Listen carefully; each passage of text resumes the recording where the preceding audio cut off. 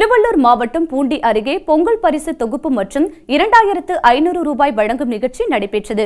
பூண்டி அடுத்த மெய்யூர் பெண்ணலூர்பேட்டை உள்ளிட்ட கிராமங்களில் இந்த நிகழ்ச்சியானது நடைபெற்றது. இதில் சட்டமன்ற உறுப்பினர் விஜயகுமார் கலந்து கொண்டு குடும்ப அட்டைதாரர்களுக்கு பொங்கல் பரிசு பொருட்கள் மற்றும் இரண்டாயிரத்து ஐநூறு ரூபாய் ஆகியவற்றை வழங்கினார்.